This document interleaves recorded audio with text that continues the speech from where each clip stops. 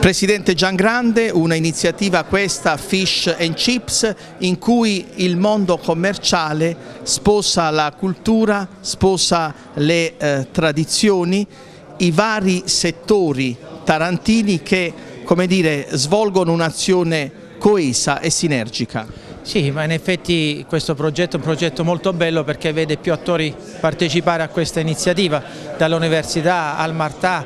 alla regione, quindi più attori, il comune, voglio dire, chiaramente ci sono eh, dire, percorsi che eh, oggettivamente hanno coinvolto più persone. È chiaro noi vogliamo riprendere la storia perché far vedere alle nuove generazioni da dove siamo partiti, siccome noi creiamo, crediamo che la risorsa del mare, la mitilicoltura siano delle risorse fondamentali, formati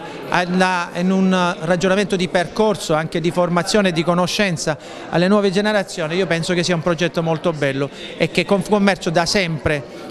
mm, almeno sotto la mia presidenza, ha sempre martellato dicendo che questo territorio ha tantissime ricchezze e dobbiamo fare in modo di valorizzarle tutte. Valorizzare tutte significa non ragionare solo di grande industria, ma ragionare di turismo, di formazione per il turismo, itinerari, mare, mitilicoltura, agroalimentare, credo che siano le risorse da cui secondo me ripartire e, e provare a fare uno sviluppo del territorio importante.